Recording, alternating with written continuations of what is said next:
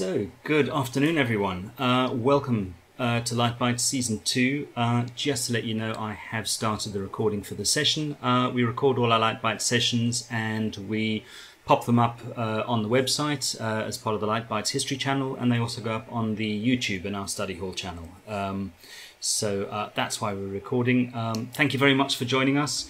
Uh, welcome back to Light Bytes. If this is your first time, um, welcome. Thank you for coming. Thank you for giving up your Friday evening uh, or Friday morning, depending where in the world you are. Um, Light Bytes is something that happens once a month, first Friday of every month. Uh, we just get together, we have a chat about all things light and lighting. Every week is a new topic uh, with new panelists. Um, and this week, I am really excited to introduce uh, two of my colleagues uh, who have kindly taken time out of their day to join us. Um, both experts in color and control and light, and just generally fabulous people. So it, I'm um, really, really thank you, Wendy and Nick, Wendy Luedtke and Nick Gonsman, um, joining us from America. Um, so hi, thanks for joining us. Um, if you want to, if you'd like to, Nick, just say a quick hello, say who you are and, and what you do. Um, that'd be great. Uh, I am Nick Gonsman. I am the uh, product manager for EOS Family uh, at ETC. Um, I've been with ETC for about 15 years. Um, I've been in the product management job now for uh, one year and two days, so that's kind of exciting. Um, previous to moving into controls product management, uh, I was a field project coordinator um, where I helped folks design uh, network infrastructures, control systems, um, and and specialized in all things control. I also had a little side hustle uh, helping out with education videos. Um, so that's that's me. Brilliant, uh, Wendy. I'll come to you. I am the product technology specialist for Color. Uh, I spend my time split between uh, marketing and education and the advanced research group. Uh, in the advanced research group, we do sort of blue sky thinking and uh, looking at technology and researching things that are not yet ready to go into a product. So not R&D proper, right?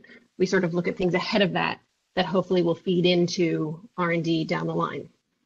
Uh, and then on the marketing side, um, much like Nick, I do training seminars um, and I help our internal marketing team you know, I'd sort of do some training for them, help them when they're writing about something technical that's maybe not um, in their expertise. And that's me.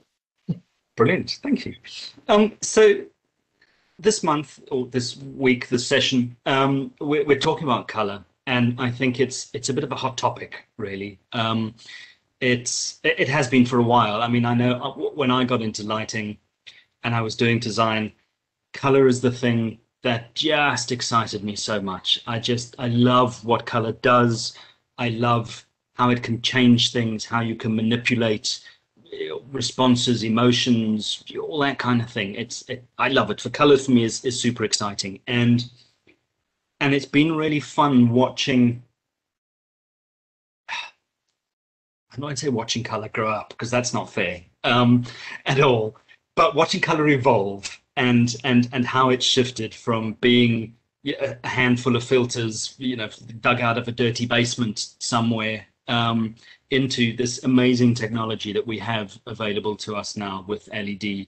Um, and I think it's fair to say watching LED grow up over over the, the past few years has been has been super exciting. And I think we're in a position now where we have unprecedented flexibility in, in terms of our of our color choice and and what we can do and the journeys we can take people on as a result um, of, of, these choices. And and I guess that's kind of where I sort of wanted to kick it off is um, looking at how how color has evolved for you. So so what your initial your early experiences with color were um, and and sort of you know how that's how that's evolved for you. Uh, not an not a not an, not an easy question to get, to kick things off with. Um, but uh, yeah, so, I think I have a little bit of feedback uh, initially, which is from a control side, and I've I've always been a, a controls geek. Um, you know, it it used to be that we just cared about whether a light was on or whether it was off or whether it was somewhere in between. And so obviously this whole shift in color, like you you dealt with color and design and during focus, right? And and so uh, the control side of color was really generally for moving lights. Um, and in uh, in sort of traditional theater, those were late to come into our world.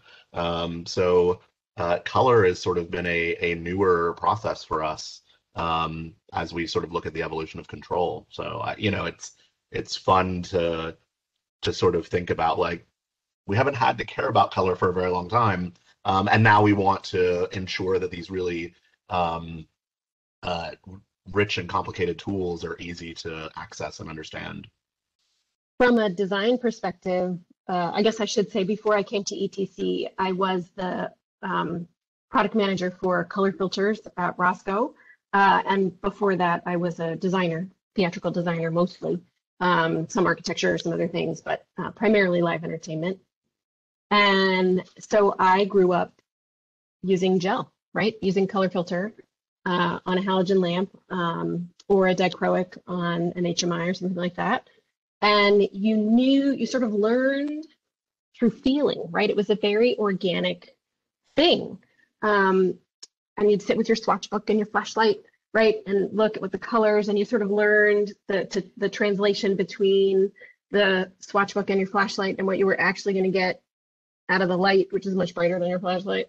Um, and all of this became sort of part of you as a designer, and you had your favorite selection of gels that you always reached for. And I would reach for, you know, I had my usual suspects, and then I would always try and pick a few new ones um, to try out. And, you know, color was sort of inherently part of the pre-production process. It was something that you thought about from the beginning. I would sit in design meetings and I would bring books. There's this, there's there is I think it's still there the picture collection at the New York City Public Library, um, the Mid Manhattan branch, uh, and you would go physically to the library uh, and you would you could there were these folders of, of photographs organized by theme, um, carnival pictures, uh, sunsets, um, red. Uh, you could just pick you'd just get a bunch of folders and you'd spread them out on a table and sift through them all and you could check them out like books. You could check out like i don't know what the limit was. Maybe it was 20 something like that. And and you'd get your photo your your selections check them out and take them to the design meeting and spread them out on the table. And all you know set designer would have done the same and costume designer would have done the same and and somebody else you know maybe you would bring books. Maybe there were you know a book of a particular painter that might speak to you and and and color was part of the language from the very first design meeting. And and that seems to have really changed. Um, you know that part of the design process partly was because color was more of a fixed uh, entity. You know you put it in the light at focus and there it stayed. Obviously if you you know if you needed to make a change you you know you go and uh, change out a whole system of gel if you if you needed or wanted or in dance lighting for example in the booms those would change every act or whatever. But this was a static decision um, with the exception of moving lights. That's as nick said that's a dynamic thing right? Um, but but this was a it was like picking paint. You're not going to just wait till you get in the theater to pick the paint right? And uh, or the costumes the fabric. It's going to get sewn together and it is what it is. Um, so it was all thought of sort of more, I don't know, more interwoven into the whole process. And then we entered this phase where LEDs came on the market and you could just pick whatever. You could just change it. Isn't this great? We could get in the theater. And if the director had told you all along, this whole scene should be pink, it should absolutely be pink. And then you walk in the door and make it pink and they say, what were you thinking? I meant blue. You could just make it blue. And, uh, you know, or if if something didn't look quite right with you know you could the paint or costumes or or whatever you could just you, there was a thinking that you could just tweak it on site. So that sort of evolved into this place where waiting to pick color became a thing. Oh just decide when you get there because your options were limitless. And then we started to realize what a horrible idea that was right? Um, and stop me if i'm ranting too long. This is sort of like i was born in a small town but um, but you know then then came the phase where you realize there you are in the hot seat as the designer, director, everybody's waiting for you. The performers, the crew, everybody is waiting for you to now pick your color and make a great decision that you used to spend. You know, you used to like, I used to sit with my coffee and like contemplate my color choices and I would change them in and out and decide what nuance I wanted. And there's no, no more. Now you got to like pick something and go. And you could very easily use up all of your tech time picking color. Whoops. Um, and then we also, I think, started to figure out um, the pitfalls of LEDs and that color was somehow not the same anymore. Um, you could pick any color, but you couldn't actually pick any color in the same way. Like there's, you know, there's a lot of gels, right? And let's say there's, you know, you could pick from a hundred blues those blues are all very nearly the same color. They're all a deep blue, for example, but the nuance is in that curve, right? The spectral power distribution. If you on the slip sheets, there's like this little bitty graph that goes, um, and that's the spectral power distribution. That is, it's actually the, the spectral transmission on the gel. It's showing you uh, what light energy it's allowing to pass from your lamp. I'm sure we'll get into that in more detail later in the conversation. But but there's a difference in how you arrive at that blue. You, there's 50 different ways to arrive at the exact same chromaticity or overall color point. And that sort of began to be realized, if not scientifically or specifically or really academically, the effects of it were felt. The, the what's wrong, something's wrong. Why doesn't this look right? Why does this look different? Um, and so I feel like now, certainly ETC, but but in the design community at large, we are all in this world of realizing that we need to understand more of the science to be able to understand and predict what we're going to get. And that there is a lot more that can go into that color decision making process than ever had to before. Um, and I, it feels like the industry is moving back to a place where it becomes something that you're thinking about from the beginning. How are you going to get to that color? Um, and there is still all this luxury of change that's available, but it's becoming more thoughtful. Um, and and sometimes it doesn't matter. If I, I am the first to say, if all your lighting is the cyc, just pick, pick your, just tap your color picker on whatever color you want and and head home. You're done. Um, you know, but usually we're lighting environments full of colorful objects, right? We're lighting people, we're lighting skin, we're lighting costumes that somebody spent a lot of time and thought choosing fabrics for and making, and you know, all the scenic designers work, all those paint colors, um, the director's vision for mood, all of these things come into play. And so I feel like we're now really in this world where for me, it's luxurious, obviously, because I'm a color specialist. So I love thinking about color all the time. Um, and I love noticing it in in in the world. Um, but I think as an industry, we are all realizing the the gift and the work that is necessary to really make the most of, of this technology. I'm going to stop there. It made me think when you were talking about the booms and you know quickly being able to change a color. I remember as, a student so a couple of years ago now, um, we, you know, student student productions. You don't have a lot of budget. You're in universities; they don't have a lot of money. It's the same everywhere. Not, that that hasn't changed, at least, you know, over the years. But we we light the dance season for the dance department, and it was the job of the first year dance students. They were not allowed to dance. They would sit next to the shinbusters on stage with a pile of filters, which would pre-cut.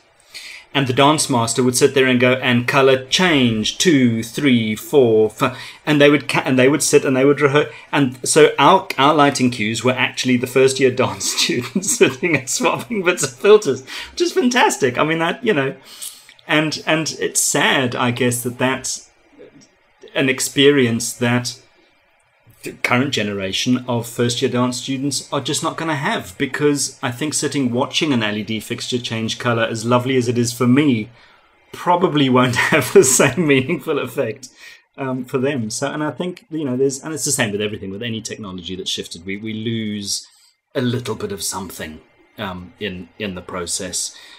But I think as much as we as we potentially lose, or as much as we feel we're losing, I think we're also gaining on on the other side. Um, and that's that's super exciting. And you, you touched on, um, you know, control uh, and things, and I think, and we've also spoke about language of color, and I feel that the language of light and uh, the way we talk about it and the way we control it are, are starting to, to merge towards a common point because um, you know we, we want to be able to say oh can that be a bit warmer um, or can that be a bit cooler or oh that you know i mean i used to think of color when i particularly blues i used to have a range of blues that i would consider to be dry and a range of blues that i would consider to be wet which is not I mean, you know, yeah, but I know what I mean. Like, like 197, Lee 197 for me is a dry blue. It feels dry, whereas a, a 119 is wet. I, I can't describe. It's just, it's, you know, it's just, it's just, it's just a word. Um, and, and I think it's it's it's all of us finding that new language and finding that that common ground, uh, you know, about how to talk about light. Um, and and Nick, and I, I, I wonder, um, Declan, does your dry and wet correspond to my crisp and muddy, maybe? Oh, interesting. Now, see, crisp and muddy for me would refer more to greens and ambers than they would to blues. Interesting. See, for me, so crisp is um, would have come from the so you know the I, GAM filters. They're not very popular. I don't know. This is the UK. We can't afford a, them. yeah, it's a smaller market there. So, so the GAM filters tend to have very little red content. They they sort of cut off. So they're very so they're colder in a way but not in a not in a harsh way or an inorganic way, more in a like um, well, Chris, like a cold, like you can feel the briskness or the brightness it's brittle. in it. Yeah. Mm-hmm. Um, as opposed to something that has, you know, sort of Lee um, or Rosco colors. Um, um, Chris James would be very similar to the Lee. Um, uh, have more red. They let some, you know, there's depending on the Lee, obviously, some of them do, some of them don't. But as a general rule, um, those filter lines had more warm, more longer wavelengths in them, and so they felt more earthy, maybe. And if you got them down on dimmer, they would um, they would go muddy. You know, they would they would sort of warm up to the point of, of really shifting their their flavor. I'm using like every adjective I can that is so unscientific. Um, but that was sort of one of my distinctions. I wondered if that played into your uh, wet versus dry. I'm so curious about that. But I so. What I'm observing now, and I, I think this is what's really exciting about this, right, is that um, these these we could have an hour and a half long discussion about an individual color and and yeah. try and our, our feels and our emotions and and words that yes. bring character to this thing um, and all of that 90 minute discussion, as you were trying to communicate, has been wrapped up in Lee 201. And and right. exactly what Wendy said about like the spectral power distribution or or the the spectral permission that it allows. The transmission, yeah. Source, you know, yeah. like we were we were able to communicate these things. What what is really nice from a control standpoint about uh, a gel match um, or or a gel approximation um, is that you're communicating this 90 minute emotional discussion in like a couple of of letters and numbers characters right? mm-hmm. yeah and I, I think you know something that we've all nerded about uh, late night at a bar um, and and you know colleagues of ours as well and and uh, other folks with now the ability to finally tune that you know you have now an eight color mixing system with with series 3 um, you know what what vernacular are we going to move to that says when i arrived to that super great spectral thing that that this yep. fixture can do. Um, by the way, not mentioning that there are like 95,000 color systems now. Like, how do we start to communicate that thing? I, I think it's, I yeah. don't think no one has an answer, but it's a, I love diving into these things because you, uh, the shorthand has been so easy because it was a static thing. You know, this is what you got. You want this thing. Mm-hmm. Yeah. So, yeah. Yeah. How do you translate sparkly blue into, you know, for an engineer. If I walk in and say, I need a light that is sparkly, they look at you like, okay, I need radiant watts at a certain wavelength. You're like, hmm, what wavelength is sparkly? yeah, it is. It is fascinating. I think we, Declan, have we gone off topic, or should we just keep going? No, not at all. This, this, this, is great. I mean, there's there's no, you know, it, it, let's go let's go where it takes us. Um, yeah. I and I remember doing a, a color session uh, a couple of years ago, and I I um, I had Richard Pilbrow as one of my guest speakers, and I and I get up and I do this whole long thing, and I mean Richard's a legend. He's you know I I, I would say he's he's the grandfather of, of lighting, certainly in the U, in the UK, and I get up and I do this whole long spiel about primary colors and how it works and the physics of light, and this is how you choose color based on content and spectral content and what it's going to reflect and all. This, and I go into this whole long thing. He gets up after he says, "Hmm." I take my swatch book, I take the pin out, and I drop it, and I see what looks good together. And I was like, thanks, that's just undone an hour's worth of of the science. But that but that's exactly it, I think, and that, that's the beauty of colour, and that's why it's I think that's why it's so exciting at the moment because we used to have these fixed choices. You know, you, you had yes, there might be a hundred blues, but as to what that blue was going to do and present and reflect was fairly fairly reasonably consistent. Whereas yeah, now I can have a dark blue and I can say, actually, I've always wanted that dark blue, but just a hint more green, or with a little bit less red, or and I mean that is super exciting for me as a as a as a designer to get behind and go, oh, you know, what can, what can I do to to give this a tweak. Well, and I, I think that you know the the reason that, and we've already kind of touched on this, but the reason there are so many gels, brands, and and individual uh, components was uh, there was a blue with a little less green, there was a blue with a little bit more red. Um, but those were static and and the other thing that designers often would would work with gel a specific gel is how they could change the character of that light with just intensity that was the only tool that they had to dynamically adjust what that that fixture was outputting. Um, and I think where the exciting notions of all this uh, making our own color additively out of a fixture come um, is not just being able to say I want a little less green in this light for the whole show.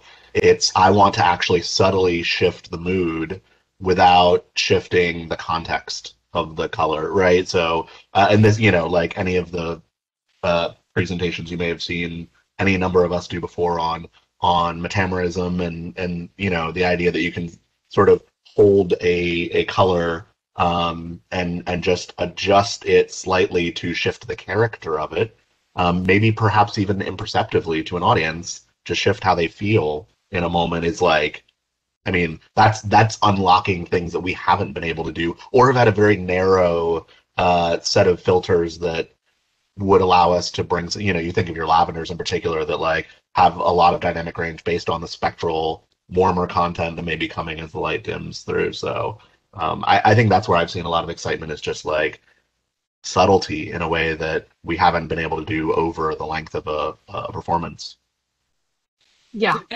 I i think for me the most exciting thing I, I, don't know if you know anybody who's seen me talk obviously knows that a lot about color is exciting to me. Um, but but but now I build spectrums. You know, um, I I know like I'm looking at the objects and what on stage do I want to bring out or push back? What sort of feeling? So so I have really started to do that, and and one of the things that is it was surprising to me. Now it's very common. Um, but you know, when we use a reference, Lee one, um, what that reference means to different people. Let's take, or Lee 119, right? A really deep blue. Um, what that means to different people is is not the same. Um, it is so there's also this like teasing out of what people actually mean we hear you know with with the the gel picker feature in the console you know what color exactly are you looking for um, because they could be referring to their memory of it which is not going to be the same. They could be referring to the you know the rep sheets that were half burned. They could be referring to it at 80% or 50% which is not the same.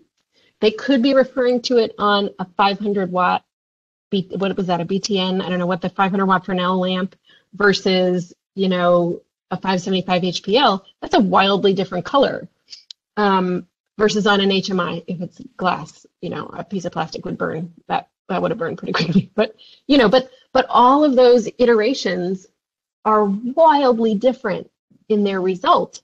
And we never had, I, I don't even, I was thinking about this um, as, as Nick was talking actually. Um, when we made the switch from, and we as an industry, uh, setting my ETC hat aside when I was a designer, right? And, and we in the industry made sort of the very gradual switch from um, EHGs, FELs, that sort of class of halogen lamp and, and fixture, um, that type of ellipsoidal, to the HPL and the source 4. The HPL was like from another planet. You know, the, the quality of white, the light that came out of it, open white, was a completely different color. Um, and so, at least what I would start to do, and what a lot of people I know, partly because of cost. It cost a lot more money to rent those at the time, but you would build your separate systems, right? So you'd have your systems that were using the sort of legacy style halogen lamps in the in those ellipsoidals, and then you had your system of, of source fours, and I would put those somewhere like doing a cross white thing or something, so that you know somewhere where I wanted it to cut through, punch through because it was colder.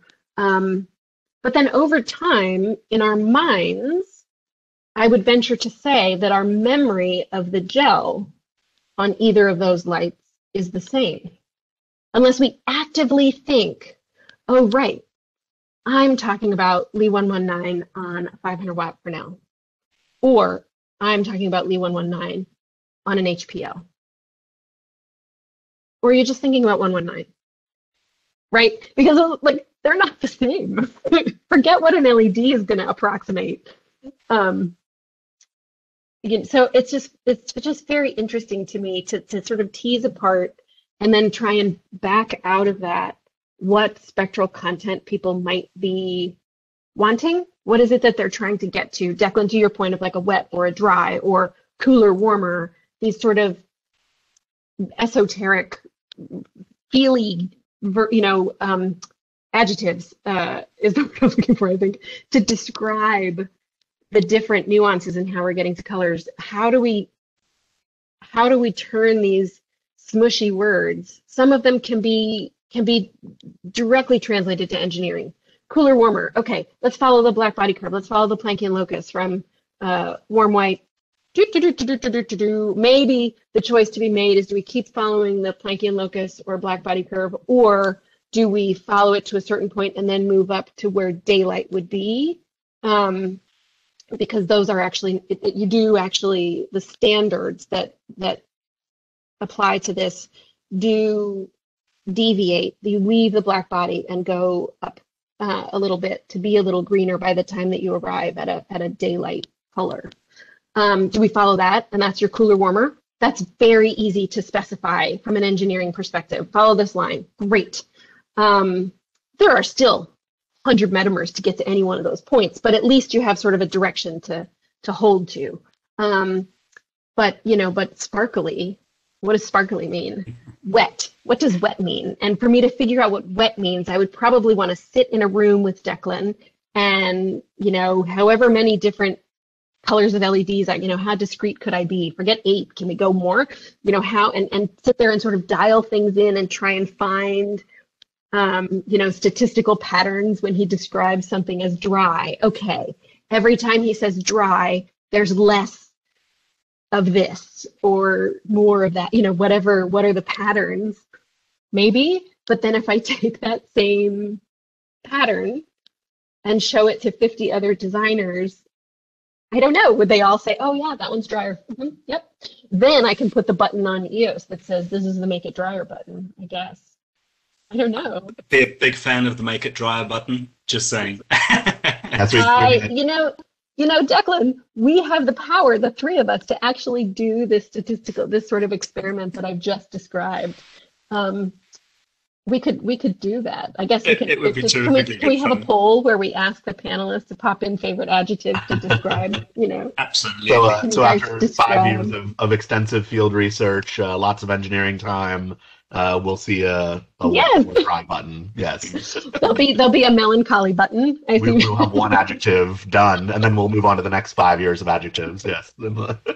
and in 400 years, we'll have a really great We'll library. have a really great suite of designer feely buttons. Yeah. So, Yeah. Uh, you actually raise an interesting point, and that actually brings me back to one of the questions that Charles has, has popped in. And the question is, what's the best color choice for melancholic mood lighting on stage? And and I think this is the fantastic thing about lighting and color is th- there are no rules. I mean, for me, Absolutely. Yeah, I might say, well, it needs to be, you know, pale, steely blues, and a, but it could equally be. You can be just as melancholic in the warm world, in in in the sort of amber world. If you if you pick your colors and your moods, and you know, a, a single. It, it maybe it's just a single light. It doesn't even have to be any color. A single source in, and I'll say open white because of course that's a variable term these days too. But yeah, so it's uh, it's it's such a hard thing to, to quantify and and the other question that's there is you know are we going to continue to use swatch books to discuss which blue we want. Probably not because it's just that. It's we i think as as designers and programmers are going to end up with our own library of color that we will just take we'll have like a suitcase. So we're going to so instead of in my, in my you know my bag of tricks i used to have my swatch book or books. I'm now going to have a memory stick with my colors in, and I'm going to load those into the console, and there we go. And you know, we'll be in tech, and I'll say, "Great! So please, can we have uh, happy jolly blue for the scene, or Yeah. melancholic pink?" Unlikely, but you, know, give it a go. Um, and and and I think that's what it's going to be. I think it, it would be near on impossible to standardize it, and, and actually, part of me hopes that we never find a standard for it because it's just too exciting uh, as it is at the moment that yeah it's you know it, it, this is probably also the moment to say it's all relative. So to keep in mind that your palette is you can make anything look like it's white right? Our brains are manipulatable. Um, so so as you to your point declan anything could be made to look melancholic depending on what's around it right? It just depends on what the rest of the of the picture is. Um, setting aside all the other aspects, obviously, you know, angle, shadow, all the sort of form things that come into play and intensity, setting all of those aside, just focusing on the color aspect, it's all relative. You can, you know, the easy, the easiest example is lavender can be made to look cool or warm. It can be made to look like sunlight or moonlight, right? That's a very easy example. Um, but that is true of, you know, any of like a blue, you can make a blue look very, very warm or very, very cold or very, very wet or very, very dry or very sparkly or dull. Um, just depending on what's around it, you know, will it, it'll be the one melancholy light because all the others around it are happier. I think um, maybe an example, Tom Littrell had a cue set that he would use. Nick knows where I'm going with this, right? And and we use it often in demonstrations. We show you, you know, a blue that's full of life, that's very vibrant. It has a lot of red content, um, and you can hold the same color point and pull that red out, and you look like death, right? So if you imagine a stage wash all in this same blue, and just in the one that's focused on the sad performer, you could pull the red just out of that one, and that one performer would look very sad, right? Or like something was was wrong. Um, and that sort of wonderful control um, you know and then whatever it is that this person needs to spark joy for the rest of the play to continue that thing comes in some spotlight somewhere else and then the red comes back in and you know all of these things are possible and it just depends on what the whole or it is it is impacted by what's around it Well, I, I think going back to sort of like Declan's, you know, those are the sorts of things that the the suitcase, right? Those are the tricks that we can we can bring with us. And I think from a programmer's perspective, um, you know, w- certainly from from Eos development side, right? We we give you tools like color palettes and presets and things to compose those things and to easily bring them show to show to show. Um, so I, I think that that's already happening, right? Like people, designers, uh, it, we saw with programmers first where they were traveling with with colors and and other tricks, right? Um, uh, but but designers are starting to travel with with their little suitcase um, and pull up on a, a show and say to the the programmer, you know, hey, merge these in. Here's the stuff that I like to use, um, and and those can be starting points. But I, you know, the the idea that this is all part of a composition, I think, is what's really important, um, and that you don't have to hang a second light now to do that that effect, right? You just nudge it a little. You do the little cool. The uh, Wendy calls our tint tools the uppy downy buttons, which I always love. Um, and you just do the downy on you know the cooler, um, and you're there. So yeah, I I think it. I'm interested to see how that evolves, and I think Lee had just asked a question as well about you know I think one of the things that is missing and I, I, like declan's like i don't really want it to like settle in but but what that misses is um again short form communication when you need to take that thing that you feel in a specific space in a specific composition um, and and articulate that to uh, a team. Um, uh, if you need to document a show um, you know that becomes really difficult right? Lots of shows do documentation um, for historic purposes. So um, i don't know. I don't know where we'll end up language wise it's, it's tricky. I mean lee's question for any any of the um, any of the audience who perhaps can't see it is how do you show your happy blue in a creative meeting? Um, I, think the swatch book is like Wendy's sort of picture book at the time, so you have you have a reference point. Um, but it's hard to go into a meeting with a set of uh, with a set of adjectives because uh, everyone's going to interpret that difference, and and it is it's it's how do we how do we show color because uh, it used to be as Wendy touched on it ahead of tech everyone would have a reasonable idea of what the color palette was going to be because you know you, you, you'd show people swatch books or whatever it was in the meeting and uh, you know and i still maintain that everyone in the world has two jobs their own and lighting. So you know everyone likes to think they they they know you know so you can show a director a swatch book and they go ah, i know exactly what that blue's going to do and you think yeah okay we'll see. We'll see. But at least there was a starting point and i think that um, I won't say it's been taken away from us, but it's it's morphed into into something new, and I think we're all trying to find out how how to communicate color. It's always been easy for for scenic people. You know, if if I go into a production meeting and I say I'm going to paint the wall sky blue, you've got a pretty good idea in your mind of what that wall's going to look like. If I say to you, oh, there'll be a sky blue wash of light on stage, most people's eyes glaze over. They they they, they can't. It's a much harder thing to to to quantify and to and to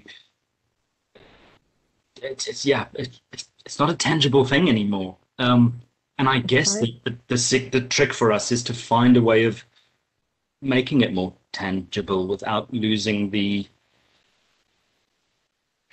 yeah.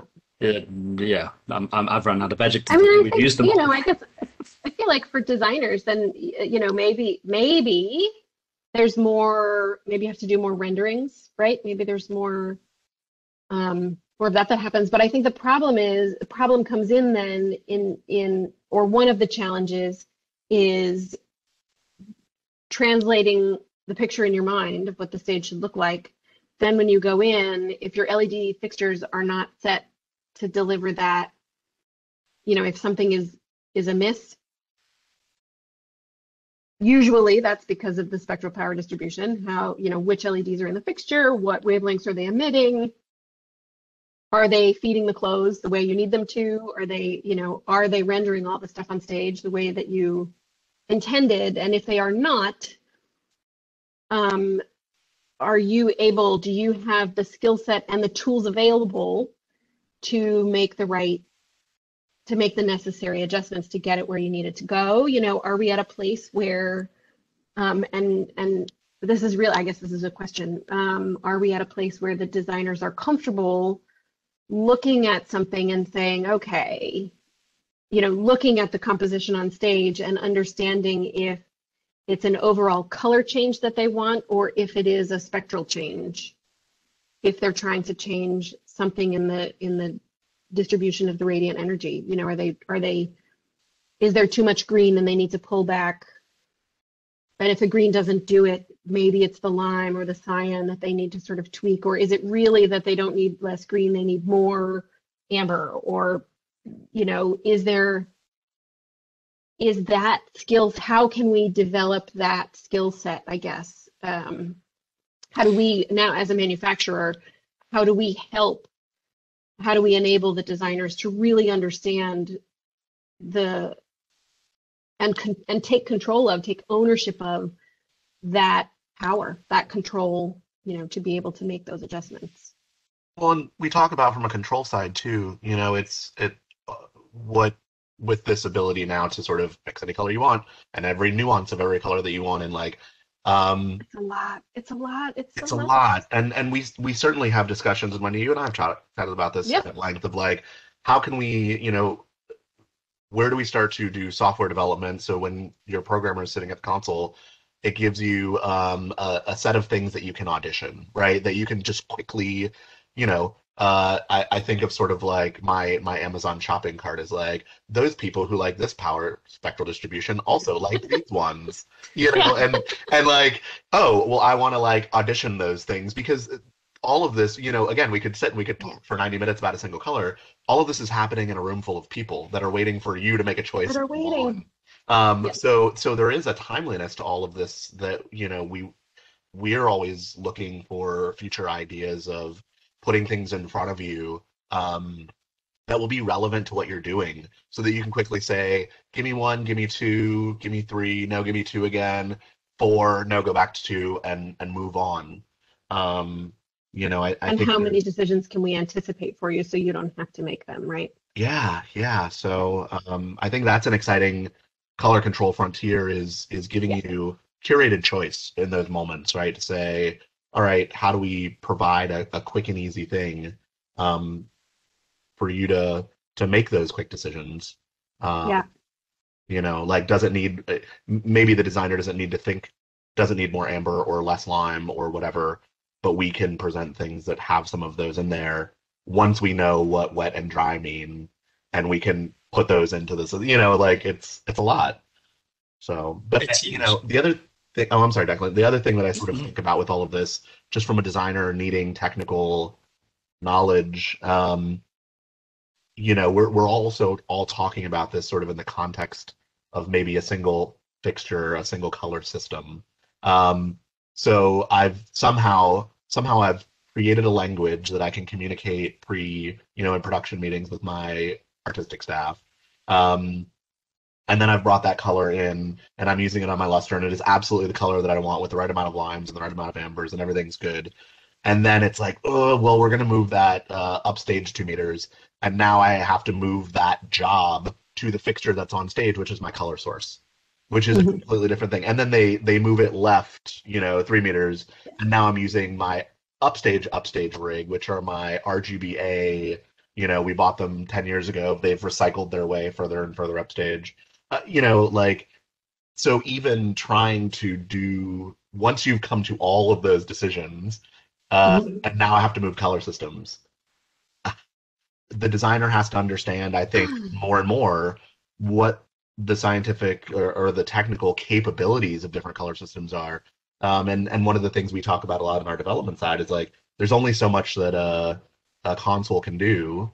You know, if you if you have four colors of narrowband emitters, versus eight colors of narrowband emitters. Um, the console can't force more spectrum out of a fixture that it doesn't have. So the design team has to uh, be aware of how to morph that into a new color system that accomplishes the same job that they were hoping to do on a different color system. We've we've kind of inverted the way we deal with color really because we used to start with I'll say full spectrum light source. I know that's not true because you know the, the peaks and troughs. But whether it was daylight or a tungsten source, you pretty much started with everything, and you were taking stuff away. Whereas now, although when you turn the fixture on by default, it, you know everything comes on, but technically you're starting with nothing, and and you're choosing which bits you know to, to add in and you know, we, you know, we, we all did RGB color theory in school and science class, and we all sort of understand that, and it's been in our televisions and our monitors and our everything for you know a few years. We we like to think we've got a handle on that, but one extra little color creeps in there, and the whole game changes, and it's it's it's. It, I I find that it's you know I've always the thing, one of the things I've loved about lighting is the fact that it's that awesome fusion between science and art. You have to understand the science, but you got to get the art, and you know it's it's finding this. And it feels at the moment that there's been a little bit of a shift. Um, not intentionally, I, I, you know, that's just the way things are. But it feels like now you have to have a little bit more of the science to be able to to to get to the art. And and I, I wonder if sometimes that's that's just too intimidating and people go do you know what? I just i'm just going to push that button and and that'll have to do. And and it's it's it's a really tricky thing. I think so but i also think that it's a transitional time i hope. I think it feels to me like you know there are designers now who grew up on LEDs, right? That this is not new for them. This is this is the technology that has always been there. And so I feel like it's going to become owned in the same way eventually. You know, I feel like we're in a time where there are those of us that grew up on gels and it's, you know, change is hard and there's a lot of this science that is just it's hard. And if you don't if it doesn't grab you as a curiosity if you are not like ooh i really want to go down this rabbit hole it can be really intimidating. Um, you know i think there's also people you know we came in to leds when they were terrible. You know like rgb fixtures they're just terrible. Um, they're just sad. Um, and uh, I mean, they're great for some things. Again, you're just lighting a cyc or like columns at a party. You knock yourself out. Like that's awesome. Go, go, do it. It's awesome. Um, but but what we can do now is so much more sophisticated. But and I feel like it is. I think it will be as intuitive eventually. I think it will be. I think that it's just still new. You know, color filters as a disposable medium, you know, those have been around for I don't know, 100 years. Um, in some effect, in some ways, more than that. I did a I did a thing a report in college. It was a very long time ago about using color filters, you know, like in Shakespearean times. I don't remember exactly when it was, and I'm going to get all these details wrong, and everybody on YouTube is going to tell me how I don't remember my history. But um, but uh, you know, they would essentially use like put some colored water in front of a candle and poof, you have a color filter. So the idea of taking away wavelengths has been around for a very long time. Choosing to put what you put in is different and has only been around for 10 years, a little more, 15, um, maybe 20, I don't know. Uh, but really in the marketplace, not that long. And and I think when we see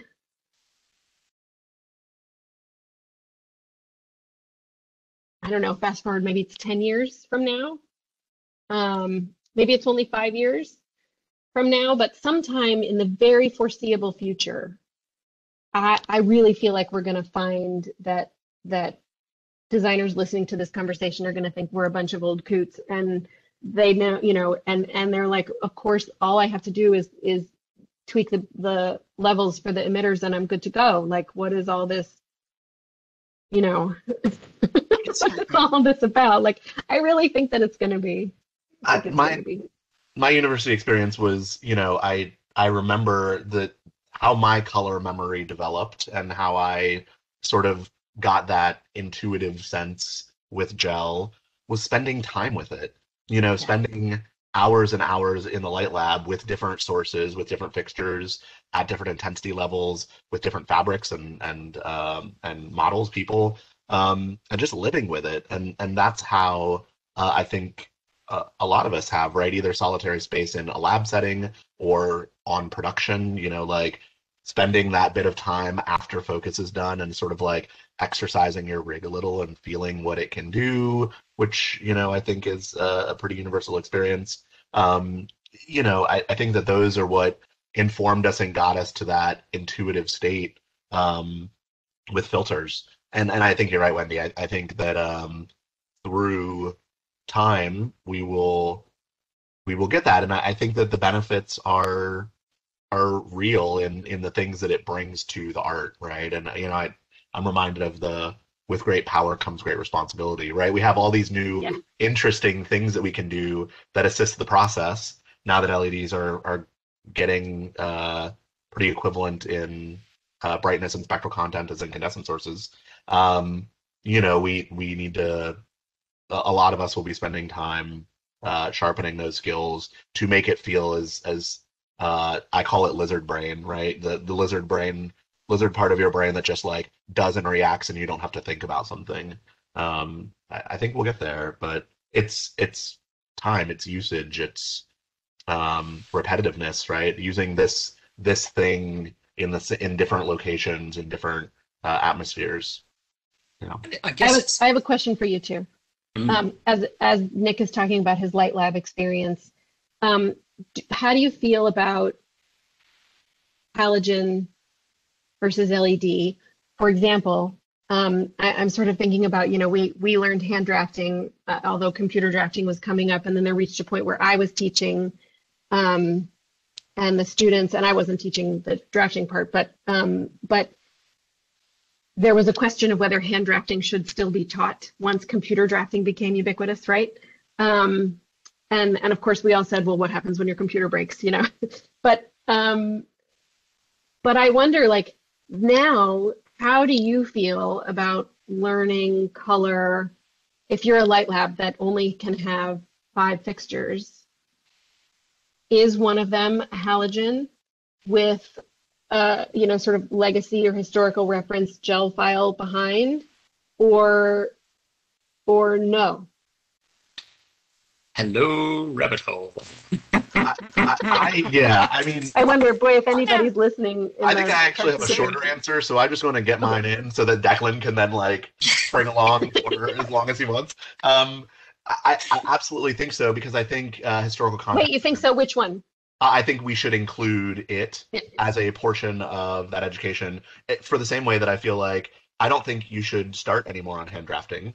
Um, I think that that uh, and and again these opinions are are solely mine and not reflective Yeah, of exactly. anyone else. But like you know, I I, I also grew up learning hand drafting, um, and it was uh, important for me to understand why the tools came to be the way they are in CAD because at CAD's inception and now throughout it, um, there are tools and there are things that are done um, that facilitated or, or were aimed to get people who understood hand drafting into that space. You know, all of our save icons are still discs, right? So these these sort of things of like understanding why the technology is where it is is often reflective of where we came from in that area. And so I think for that purpose, um, you know, series one, series two, series three, ETC LEDs were specifically our target was an incandescent HPL, right? That that was the like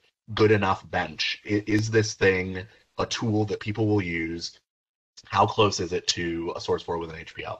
Um, so knowing why these tools came to be the way that they are, I think is really important. And uh, again, I I personally, you know, the Nick Gonsman Light Lab coming to a city near you, um, I I think that uh, starting out with the modern technology, uh, how to control it, how to think about it, will take students into that like it is starting to become lizard brain. You know, they can start to work natively in that space and that language, but understanding second semester, third semester, where all of this comes from, um, I think is really important. So that's my, and I would say going all the way back to let's stick some colored wa- water in front of a candle and see what happens. You know, that's part of our history too, right? Like, so uh, the the more you understand about uh, what the decisions were behind where we're at, I, I think that that contextualizes why the tools are the way they are. I mean, I, I think that you know there's there's there's no such thing as an original idea, right? I mean, as as artists and creative people, all we do is steal other people's ideas, mold them, put them in our own voice, and present them as our own. I mean, that and that's that's how stuff evolves. And it's not you know not not to be you know not plagiarism or anything like that but that's that's you, you see something you go oh that's nice. If i put it there oh i found a thing. And you know and and that's how it goes. We, we all sort of steal from each other. And i think the thing about being an artist or be a creative person or a program doesn't matter. A programmer designer doesn't matter. I think anyone in, in the lighting world is we have an innate sense of curiosity. You know w- what happens if i put that filter in that light? Or what happens if i just dial out the deep red or increase the light? There's an inherent sense of curiosity i think that that makes us do what we want to do. And that curiosity for me is also historic. I i want to know what it was like to light a show with a pattern 23 okay i, I do i used to when i started, I was lighting shows pattern 23 so i've dated myself but uh, you know, I, I've never lit anything with candle or, or, naked flame. I'd love to know what that is like. I have, a, you know, I want to see what's that quality. How does it flicker? How does it dance? So yeah, I'll go and I'll sit in the dark room and I'll light five candles and you know I'll sit there for half an hour and you know see what it does and see how it interacts. And and I think that's so important for anyone's development. Yes, absolutely, embrace the technology, run with it, find new languages, help us to make it better and, and evolve but understand where it's come from. Uh, we chatted earlier about about about the, the, the dynamic range of a filter just as it dims, the sort of amber shift or uh, amber drift or red shift or whatever you want to call it. There's a generation of designers out there now who have not natively experienced that. They have to go looking for that.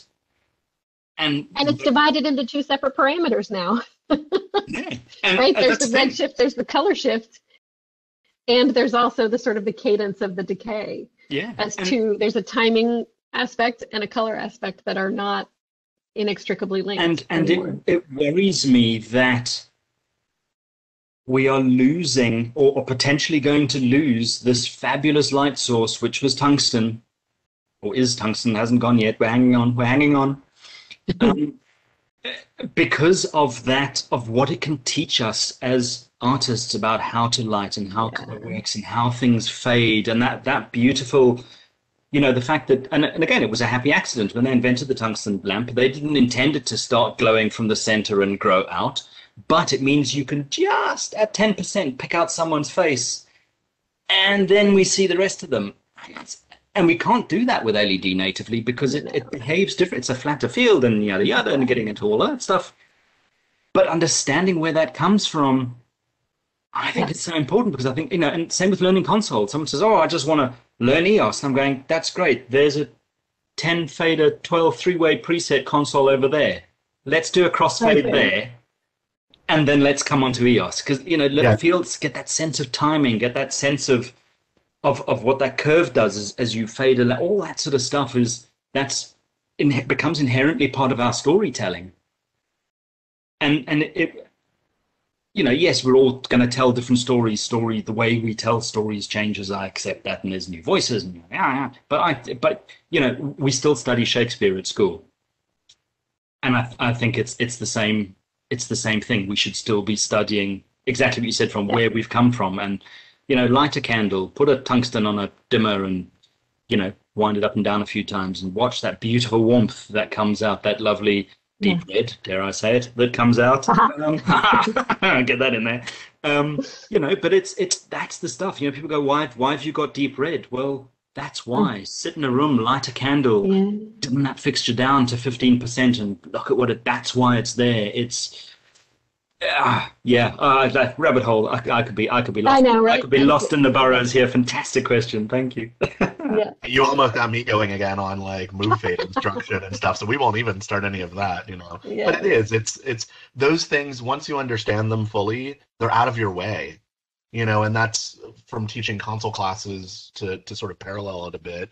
Um, understanding why move fade came to be and how how you know original computerized lighting systems were there to mimic the work of of the day is why tracking is the way that it is and once you don't have to think about that anymore as an active you know why are things changing as i go through my cue stack um, your headspace is freed up to manage other things and i you know exactly right like oh, I don't have to think about what deep red is or what redshift is, or if I want that tool, I understand what it does and why it's there. Click, it's on. Moving on with my life. Um, so I think we're I think we're all in agreement. It's fun and new. Job done. so, do you think? Oh, Nick, I suppose this is this is for you. It was as how how much more complicated is it every time a technology shifts? You've obviously got to be able to control that, but you also have to be able to control the historical stuff. I mean, we still, you know, the the additive mixing is now a thing; it's everywhere. But so is subtractive mixing. We still have, you know, fixtures on every rig. That's going to be, you know, CMY, and and how like where where do we how do we how do we manage this because it's you know if, if i say you know take put a you know cyan at 25% is that the same as green at 25 and blue at 25 should be. Yeah, i don't know. You know it's yeah I, well and so um, this is a consistent challenge from from the control side. Um, you know the communication with the fixture um, right now is really kind of still dumb. Um, generally, we're belching out levels to a fixture that um, you know if we've if we've done our homework well enough, uh, we know a whole lot of the characteristics of those individual control channels, and the the console can make decisions before it sends out those levels. Um, but but even with RDM, uh, at no point is the fixture really reporting any of those complexities to us. We know red is on this channel. Um, it does red uh, fade linearly across that zero to two fifty five range? Almost always no. Um, uh, you know, is, is, red going to fade the same proportionally from one brand of fixture to the next, even within the same manufacturer? Uh, certainly no. Um, so we are sort of in this constant pursuit of um, and and we work with a, a partner company uh, that works with us for our libraries. Um, between us and them, we work really hard to try and qualify fixtures, right? To say, okay, here's this this DMX table, this this data footprint. Here's what lives on all of it, and that's sort of the basics, right? That's what from intelligent fixtures. You know, if you actually think about a, a dimmer rack, right? As as long as control has been happening, uh, any sort of digital or electrical control. Um, you know, a, a, DMX rack is uh, a 96 footprint uh, piece of equipment, right? We use 96 channels to control dimmer, dimmer, dimmer, dimmer, dimmer, dimmer, dimmer. Um, as we moved into uh, intelligent fixtures, um, much to the pain of, of many people, um, we translated that exact idea and we said, okay, this dimmer is now called pan, and this dimmer is now called tilt. And you know, you have a choice from zero to 100, and that's sort of it. Um, we we got into more intelligent fixtures, uh, so we got into more intelligent control. Uh, the rock and roll world like really developed that stuff. Um, but uh, sort of subtlety of color, I feel like is something that again, as, as Wendy said, like you know, we we would just sort of mix stuff and hope for the best. Um, but our color systems, our our remote control color systems, were still a little crude, right? Um, uh, when we got into LED world out of CMY world, um, that started to get more and more refined, um, and and precise color replication became really important. Um, so we uh, the best color control comes out of a qualified fixture, a fixture in which we know um, not just what channel is controlling which parameter um, out of the DMX stream, um, but when you look at sort of a color engine as a as a whole entity, um, does Eos know what those colors are? Right. So uh, lime was new when when we came out with Series Two. Um, what what was lime? Eos had to be taught what lime was um, in order to understand how it worked with the other emitters to create uh, light. Um, uh, going back to the red, we need to know what red. Um, so Lustr's red is very different than uh, you know Martin's red or or another fixture manufacturer is doing additive stuff. Um, so if we know those things, we can actually start to see uh, really predictable color control, right? And again, you're always going to be limited by the what the engine is capable of. Um, but for those color systems where we know uh, a lot of information about those individual parameters, um, we can really predictably output data to them, um, even though they're not feeding us that information back. I dream of a day in in the year 3000 where you know the industry is at a place where we hook up a fixture and the fixture self reports all that stuff. Um, it feels to me right now very um, cart before the horse, where the manufacturer makes this light, they know everything about it, they send it out to the world, we grab it, we test it, we put our the best information that we have at the time back into the console, um, and then we jam out information to a fixture having no knowledge between the two. Um, so it's very crude right now, I guess is a long way to put it. Um, uh, but it's our current mechanism, it's the current system um, by which our data infrastructures allow us to, you know, the limitations of those data infrastructures. Um, so I, I think that there's been some improvement in the way, and if I'm ranting, you can cut me off too. Um, there's been some improvement in the way of um, uh, what we call sort of calibrated fixtures. So we can take fixtures, um, test them, and put that into the fixture profile, and then control them. Um, but a lot of fixtures now are, are doing their own math. Um, so instead of sending a fixture, red is at this level, green is at this level, blue is at this level, and not necessarily knowing what the cumulative effect of that is on the actual output.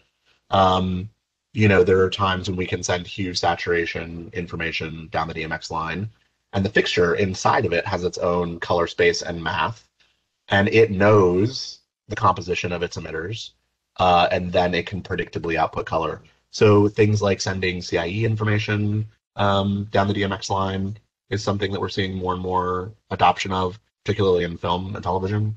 Um, so I, I, think those shifts are starting to happen. Um, but I guess you know we get into situations where you're sitting behind an Eos console uh, and and you're not getting the results you want. Um, where you're picking a gel or you're going in the color picker, and that always, almost always, has to do with the fact where we probably don't have enough information about that color system. Um, that's I I would 99% of the time that's the barrier. It's like we don't know enough about what that light expects to hear to get to the color you want. I mean that that raises an interesting point on the flip side of that is how many colors do we actually need? Because I mean I remember and again I've done nothing but date myself in this whole session. So here we go once more. I remember when High End Systems launched the Studio Color and I remember their marketing campaign, it was 16.7 million colors. And that's just maths, right? You take CMY, 256 steps, cubed, yep. 16.7 million. Okay. We, and absolutely, yes, technically each increment is a new color. And, you know, if we add uh, 16 bit color into that, we could quadruple that number or whatever the maths works out to. Um, but we're just not capable of seeing that many different colors, certainly sequentially, at any rate. Um, you know, so it's yeah, it's it's it's interesting. We, we do you know we do all this clever stuff in the background, but actually, I just want blue. I just want purple. I just want red. You know, and it's and it's it's it's hard because we have to have this infrastructure backing everything up, knowing that actually we just want red, we just want purple, we just want a nice orange. Well, and uh, this is again where I advocate for for prep, right? Um, and and yeah. we talked about this in in our prep for this, but um, you know, I sort of always look at this as um, the decision has to eventually be made, and and we've talked about this in this session, which is that like, okay, you're taking this the time that you would spend choosing color and putting color in the fixture during focus and like all of that, and now you're trying to squash that into your your tech process. Um, so uh, and we we had uh, specifically with uh, the Lustr series of fixtures um, you know we had people starting to run out of tech time because that was the like oh i'll, I'll do it later um, so I, I actually think that like going back to and a bit of what lee was talking about and like creating these color palettes bringing in these suitcase things um, and having your 50 colors 100 colors that you know that are comfortable for you that you've gotten to through your experiences um, is going to be key. And then knowing that you can tweak because you're you're absolutely right. Um, you know now take I, I refuse to do this math but eight colors you know uh 255 to the power of eight right? Like uh it just right technically those are all different colors um but what can we perceive? And, so I, I think it will be uh, in the same way that designers have always had their go-to colors. Um, i know what this thing does for me so I'm going to put it in the show.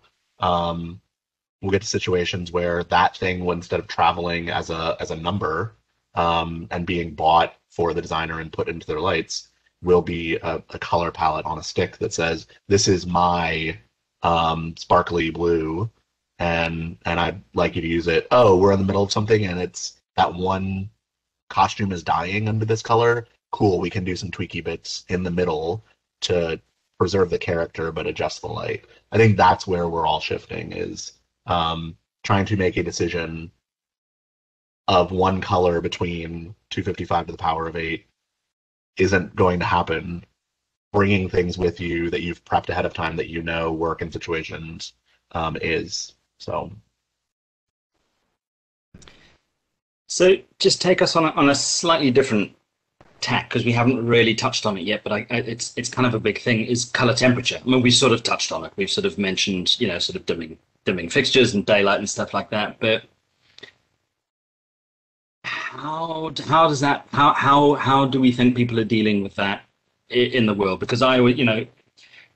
You, you would choose as an LD, you, your figure your movers were generally up on the sort of daylight range, and then you had your tungstens, and, and you kind of sort of knew where that were. Whereas LEDs, don't really, know, we could debate this, but they don't really have a color temperature in this. I mean, you know what I mean? Uh, gray area.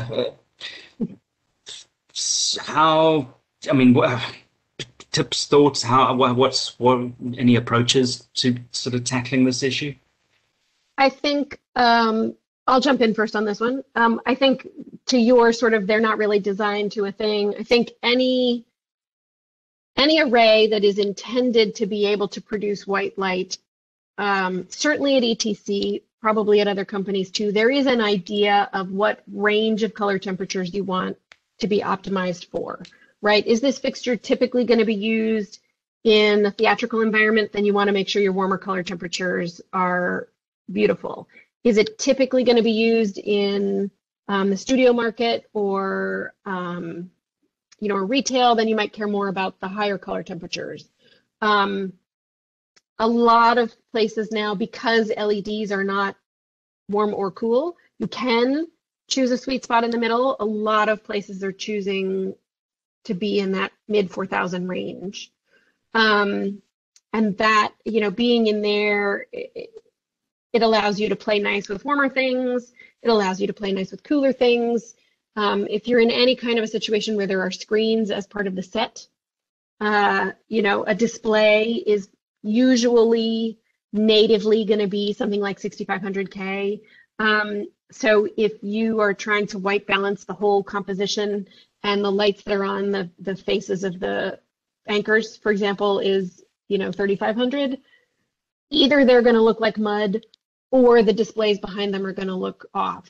Um, and and what so the solution for many uh, is if you can get the light on the performers up in the higher 4000s you preserve some of the warmth and richness that you're sort of that you want um, while still keeping the color fidelity enough in the screens in the background. Um, I think now, obviously, higher end fixtures, you have the spectral content. You can have the light on the anchors be equally cool. Maybe you don't want it at 6,500, maybe 5,500, um, but you can still keep the warmth in the skin tones. Those sorts of things become an option.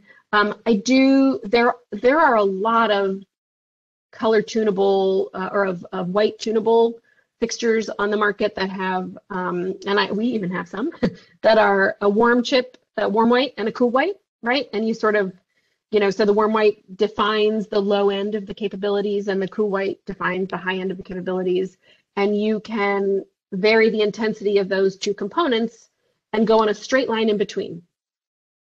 So in this configuration, um, by definition, you cannot follow the black body curve all the way across um, because it is a straight line. So at some point, you're gonna, I suppose if both of the chips are well above, then you can, then you'll stay fully above and maybe you'll touch the black body somewhere in the middle. Um, but if both, you know, if your warm white and your cool white are both on the black body, then when you're mixing in between, you're going to be down below it, which is going to appear sort of pinkish, um, which is maybe fine, but it's very important to be aware that it is, right? Like you can't follow that curve with a two color fixture. You will go on a straight line. Um, uh, this is if this is if the people who are listening don't really understand what I'm talking about here. There's a blog post, um, blog.etcconnect.com. There's a, a blog post I wrote on a couple of them actually on, on color temperature um, and on something called DUV, which is the distance, the deviation sort of, you know, above or below the black body, how far off you are, which might, which will dictate how um, greenish or pinkish something might appear. Um,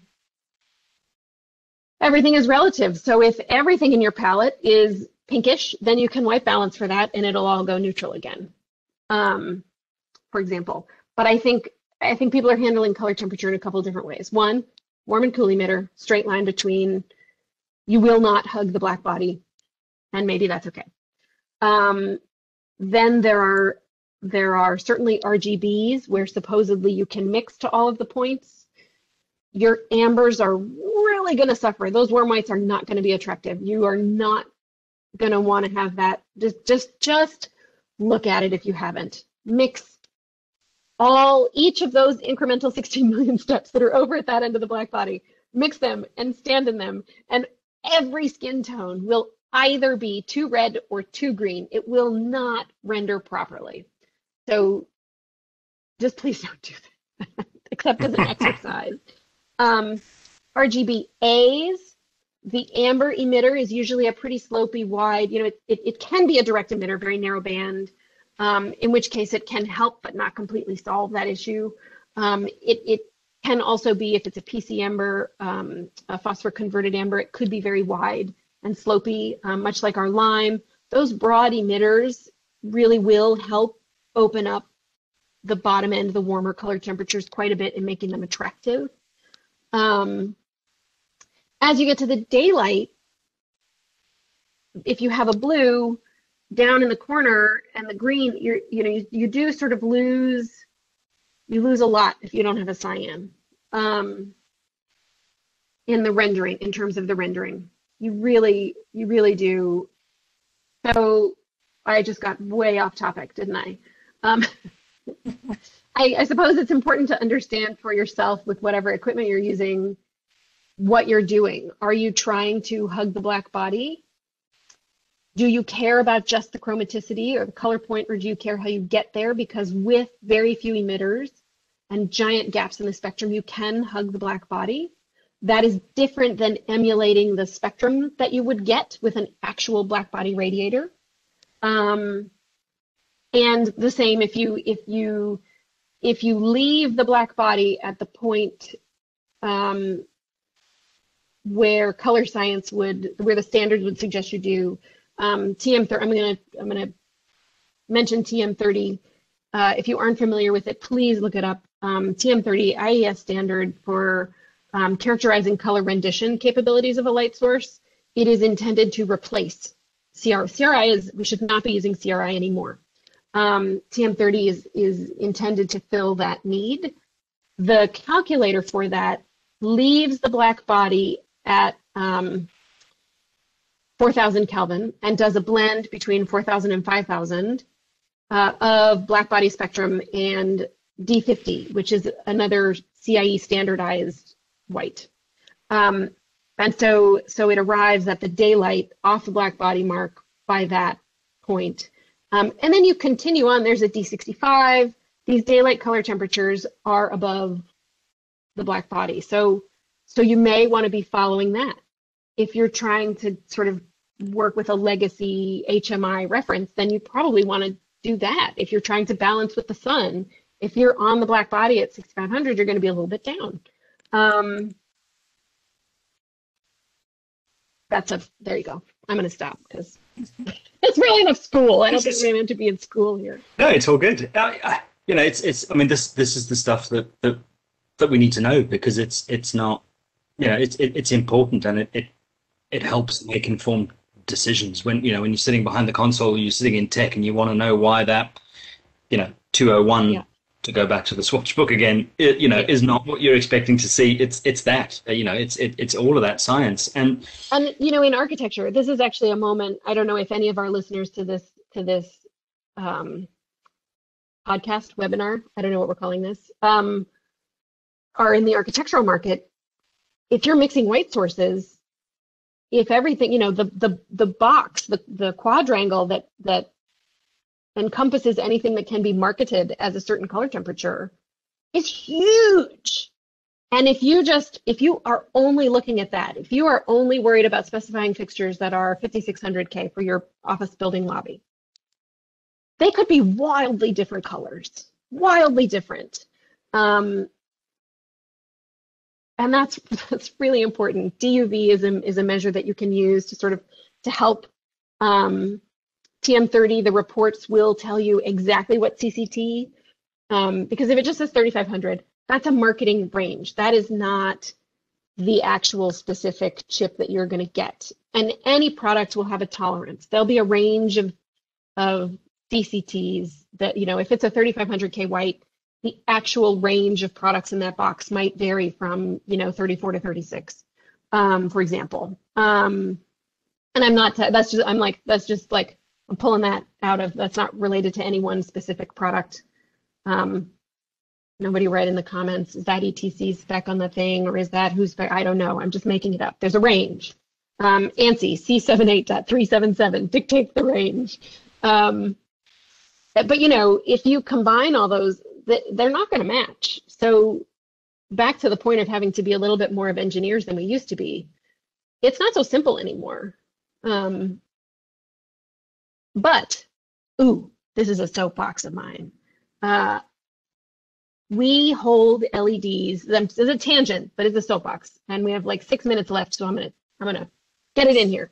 Um, we hold LEDs, I think, to a higher standard than we ever held historical sources.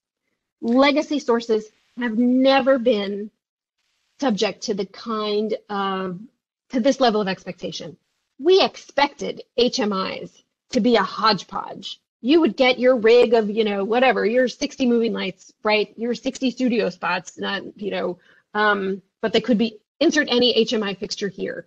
And the shop would send them to you. And depending on how many hours of usage that particular fixture had had, or what batch that lamp was from, or the, even the same manufacturer lamp, you know, all these things, what you ended up with, if everything was in open white, was, you know, pink, green, yellow, all over the map. And we accepted it. And we didn't like it and we grumbled about it and ugh, here we go. And there but there was a point in the tech process where you would then sort of balance them out or like you sort of dealt with it and and worked around it because it just it just was. And unless you had the budget to specify my rig shall have all new lamps from the same batch from the same manufacturer you know, you didn't have that luxury of that consistency. And and even ellipsoidals, there were, you know, for a long time you would occasionally get, I don't know if this happened in the UK very much, but certainly in the States, you'd get some that were just green because that there was a type of glass that lenses were made from for a while. It was green. and so we would all like in with whatever color filter went in, you would also put a, a you know a minus green. You'd put in a pink to balance it out. And and in in the architectural world, MR16s are notoriously awful. They're notoriously par 38s, right? Anything with an aluminized reflector, but with any, you know, they were all over the map, pink, yellow, green, and trying to get those to have, you'd go through a whole case to find, you know, the half dozen that looked consistent on the perfectly white wall in the gallery where there's no room for this kind of stuff, right? Like, and you can't put a you can't put a plastic color filter in there; it'll melt, and you can't do that. So, so I would just want, like, I just I want the bar to still be high because we can continue to engineer these things better and better and better and better, and we absolutely should. We, you know, Declan, you and I have had this conversation. This is part of my, you know, I am going to miss halogen. It is so beautiful. And I want us to keep holding the bar high so that we don't lose it. I don't want to have to give any of it up. I want to move forward, but I don't want that loss. I don't want to have people who have grown up and and they never knew what it was. And so they, you know, they won't miss it. If they never saw it, they won't miss it. But ah, but also I would love a little kindness in the development process a little understanding not you know like i mean there's a difference between junk product that that isn't made better for the sake of it being inexpensive or you know whatever like not paying attention not caring but but there is also this is such a young technology trying to get these things tighter and tighter and tighter and tighter is a lot of work and and and and it's not there yet you know so I guess there's a level of setting expectations where I would like a little bit of of kindness to remain while we hold, you know, just some perspective, right? Uh, just to keep in mind, it isn't that LEDs are worse. No, no, it's always been a thing. Uh, it's a place for continuous improvement.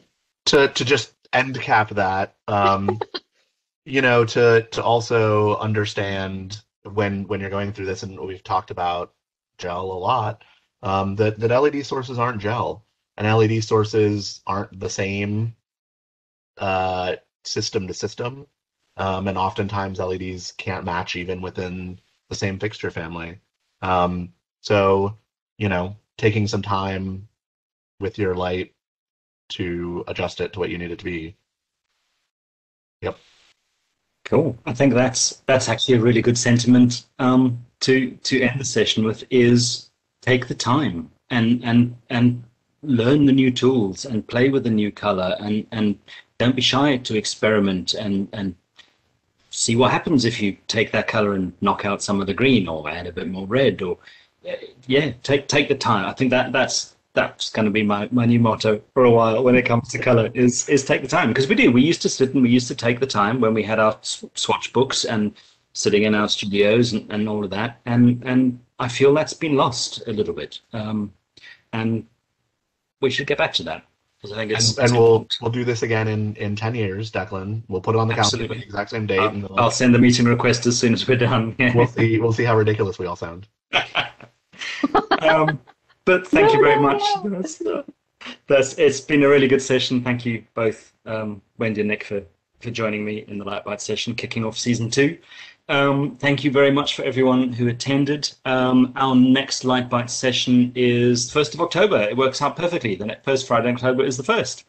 And uh, super excited. We have um, Tristan Oliver, who is the UK's leading DOP in stop motion animation. He's lit for Aardman, he lit Wesley Craven's um, Isle of Dogs. Uh, so we're super excited. We're going to be chatting to him, and even more exciting is it is our first session back with a live studio audience. We are back in the Playhouse in London we will be streaming it, so um, you know we, will keep we'll keep the online thing going. Um, but yeah, it's it's exciting for a whole bunch of reasons, um, and we're super excited. Uh, but thank you all for joining us. Thanks for giving up your Fridays as always. Spread the word, share the love. Um, you can find us on the website etcconnect.com forward slash lightbytes. Uh, Nick, Wendy, thank you very much. Um, I appreciate you giving up your morning. Uh, and um, I'm going to end the recording now. So thank you very much, everyone, and have a good weekend.